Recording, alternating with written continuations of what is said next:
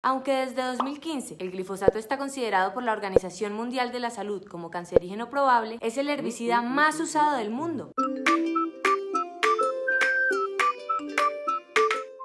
Se usa bajo distintas marcas, la más conocida de ellas el Roundup, fabricada por Monsanto. En Estados Unidos hay miles de demandas contra este grupo farmacéutico y de agroquímica. Los demandantes señalan al glifosato de ser el causante de varios tipos de cáncer. En Colombia, las aspersiones aéreas de glifosato fueron prohibidas en 2015 por la Corte Constitucional, pero el presidente Iván Duque quiere retomarlas para hacer frente al aumento récord de los narcocultivos. En Brasil, la justicia pidió en 2015 evaluar urgentemente su toxicidad. En El Salvador, el glifosato formaba parte parte de una lista de 53 productos prohibidos en el 2013, pero luego lo retiraron junto a otras 10 sustancias. Tras dos años de debates, los 27 Estados miembros de la Unión Europea decidieron en 2017 renovar por 5 años la licencia del glifosato. El gobierno francés prometió que lo iba a prohibir parcialmente en 2021 y totalmente en 5 años. Nada está claro con el glifosato, ¿o sí?